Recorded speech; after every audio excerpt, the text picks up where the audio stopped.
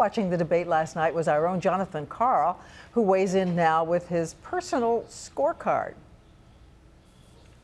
The chance to get some questions answered. When it comes to the do, biggest whopper of the debate, Mitt Romney took the prize when he claimed that he would have done exactly what President Obama did to save the auto industry. That was precisely what I recommended and ultimately what happened. That's just plain wrong. The president did put the auto companies through Chapter 11 bankruptcy reorganization, as Romney suggested, but he also loaned them $80 billion in taxpayer money.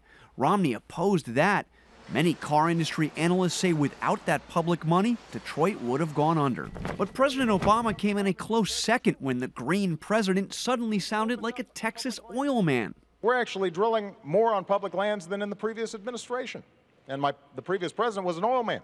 Not true. Leases and permits for oil drilling on public lands are actually down by about 40% over the last three years. And the biggest shocker of the night Obama and Romney broke their own 21 page debate agreement. It called for each of them to stay in their own pre designated areas.